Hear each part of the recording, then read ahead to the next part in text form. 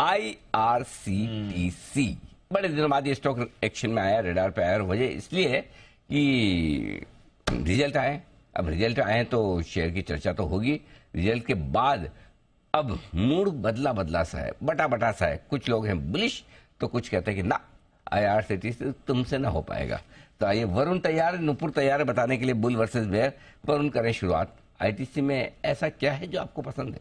देखिए अनिल जी, अच्छे फंडामेंटल्स सबसे बड़ी बात किसी भी स्टॉक को या फिर किसी की कंपनी को चूज़ करने के लिए यही होते हैं और इस बार के नतीजों में कंपनी ने दर्शा दिया है ये।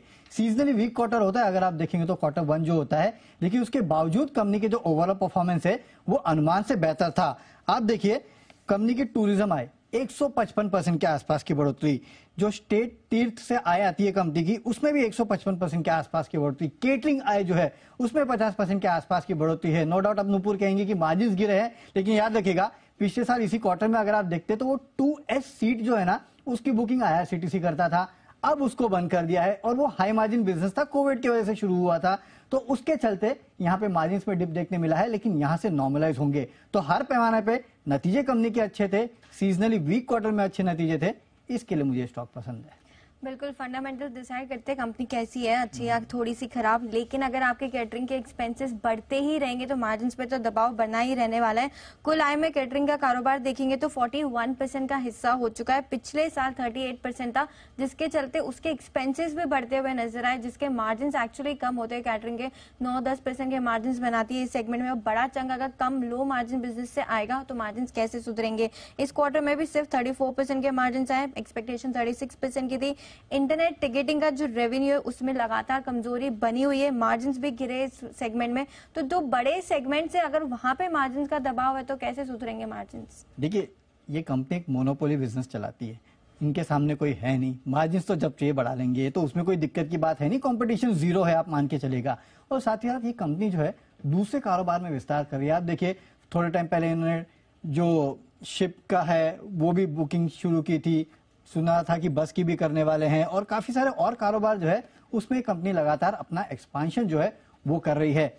रेल नीर आपको याद होगा, जब बंद हुआ था, कोविड के चलते, उसके बाद कितना हल्ला मचा था, लेकिन उसमें भी मैन्युफैक्चरिंग सेटअप जो है कंपनी कर रही है। उस कारोबार को भी कंपनी बढ़ा रही है तो लगातार विस्तार की योजनाएँ जो है, वो इस कंपनी की है। और जो नई टाइप की ट्रेन ये चला रहे हैं, और आपको तो पता ही है, वंदे भारत ट्रेन उसको भी यही ऑपरेट करते हैं। चार्जेस देखे अपने मार्जिन बढ़ जाएँगे। बिल्कुल। लेकिन वरुण, आखिर है तो सरकारी कंपनी ना? सिक्सटी टू परसेंट का स्टेक है और जिसके चलते लगातार विवादों में रहती है। आपको अगर याद हो तो मैं बता देती हूँ, अक्टूबर 2021 में एक बहुत बड़ा नोटिफिकेशन आया था कि 50 परसेंट की कन्वीनियंस जो फ़ीस होती है, वो शेयर करनी होगी आपको गवर्नमेंट के साथ उसको रोल बैक करना पड़ता क्योंकि जिस हिसाब से मार्केट फॉल हुआ था मार्केट क्या फॉल हुआ था आई का, उनको वापस लेना पड़ता आखिर तो सरकारी कंपनी है तो ओवरहैंग कोई भी चीज़ का कभी भी लगा हुआ ही रहता है। लेकिन कौन सी सरकारी कंपनी जिसने आईपीओ से अब तक पाँच गुना रिटर्न दिए हैं? कोई नहीं है, और वो है आईआरसीटीसी कहीं ना कहीं इस तरह का भरोसा जो है, वो निवेशकों को इस काउंटर पे था। इसके लिए इस काउंटर ने रिटर्न दिए हैं। नो डाउट अपने 50 वीक हाई से अगर आप देखेंगे तो वहाँ से अभी करीब 100-200 रुपए नीचे काउंटर ट्रेड कर है। लेकिन एक बात मुझे नुपुर समझ में नहीं आती। आप देखिए लॉस में काम करने वाला इंटरग्लोब एविएशन लाइफ हाई पे ट्रेड करता है। और मुनाफा देने वाला आईआरसीटीसी मोनोपोली कारोबार वाला आईआरसीटीसी अपने हाई से नीचे ट्रेड कर रहा है। पचास परसेंट नीचे ट्रेड कर रहा है, उसका रीजन मैं आपको बता देती हूँ, क्योंकि अगर वंदे भारत की टिकट मुझे चार हज़ार, पाँच हज़ार डायनेमिक प्राइसिंग पे मिलेगी तो मैं इंडिगो से फ्लाई करूँगी, क्यों? अपने 18-20 घंटे इन्वेस्ट करके मैं ट्रेन की ट्रैवल करूँगी, इसलिए शायद 50 परसेंट स्टॉक नीचे। और वैल्यूएशन भी देखे तो दूसरे रेलवे कंपनियों से काफ़ी प्रीमियम पे ट्रेड करता है।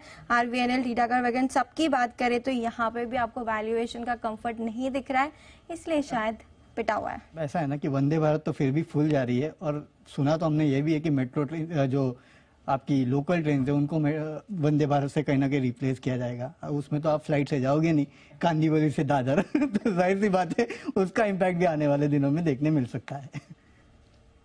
हम्म काफ़ी हीटेड आर्ग्यूमेंट्स दोनों पक्षों ने अच्छे पॉइंट्स फॉरवर्ड वंदे भारत बहुत महँगा है। हाँ? बहुत महँगा है। फ़्लाइट के आसपास वाला टिकट इतना भी महँगा नहीं आने थी लेकिन नॉर्मल जो आपकी स्लीपर या फिर बाकी टिकट्स होती थी हम्म। उससे कंपेरेटिवली तो बहुत सारे लोग कह रहे हैं वो यूरोप की ट्रेनों जैसा मतलब फील देता है वंदे फील बहुत अच्छा है। हाँ? उसमें कोई डाउट नहीं। तो उसमें डायनेमिक प्राइसिंग होती है ना। फ़्लाइट हाँ, की तरह। Okay. आज आपने बुक किया तो कम में होगा कल आप बुक करोगे तो महँगा हो सकता है। अच्छा तो मतलब जितना जल्दी बुक करोगे उतनी आपको सस्ती मिलने की चांस है ऐसा है। वंडरफुल चलिए ये भी अच्छी बात है। तो I R C T C बड़े कड़क दोनों की तरफ़ से तर्क और वितर्क आत- आते हुए दिखे तो कुणाल जी से जजमेंट लिया जाए। Kunal ji are you ready to be a जज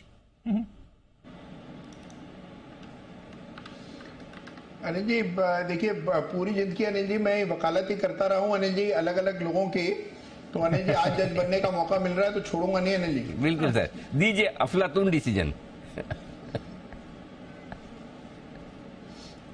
Anil ji landmark judgement है। अनिल जी, मेरी राय में अनिल जी, बिल्कुल ये जो ये तर्क है, मैं इससे सहमत हूँ। आईआरसीटीसी का अनिल जी, जो एक समय था, वो अभी फ़िलहाल के लिए काफ़ी समय से ये स्टॉक डिप्रेस था। वापस से ताकत चार्ट्स पर दिख रही है तो मैं तो इस पक्ष में हूँ कि वापस से इसके अच्छे दिन आएँगे।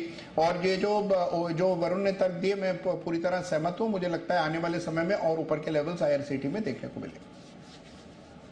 यार सीटीसी ये आपके लिए कुणाल जी की तरफ़ से भी राय और हम तो देख ही रहे हैं। दोनों तरफ़ के तर्क वरुण और नुपुर की तरफ़ से आते हुए।